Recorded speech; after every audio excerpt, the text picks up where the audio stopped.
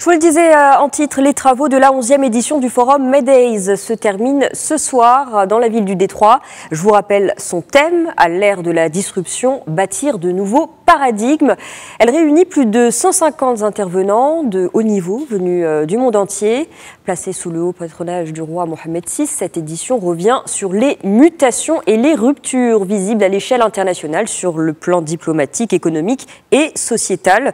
Il s'agit aussi d'évoquer leur impact sur l'Afrique et les pays du Sud. L'occasion pour nos équipes de demander une réaction à certains participants sur le discours du souverain, discours à la nation prononcé mardi soir à l'occasion du 43e anniversaire de la Marche verte. Écoutez.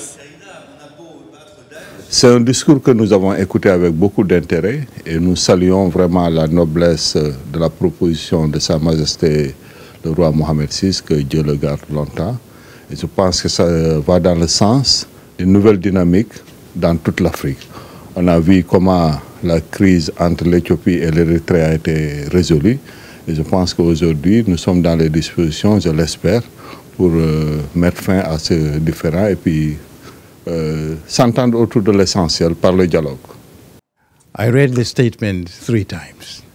J'ai lu ce discours à trois reprises et à chacune de mes lectures, j'ai été un peu plus convaincu que la suggestion de Sa Majesté le roi du Maroc à ses voisins algériens est une proposition très courageuse et innovante.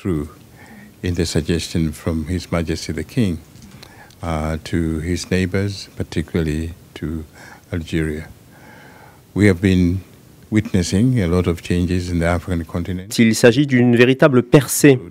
Nous sommes témoins de beaucoup de changements au niveau du continent africain, y compris entre l'Éthiopie et l'Érythrée.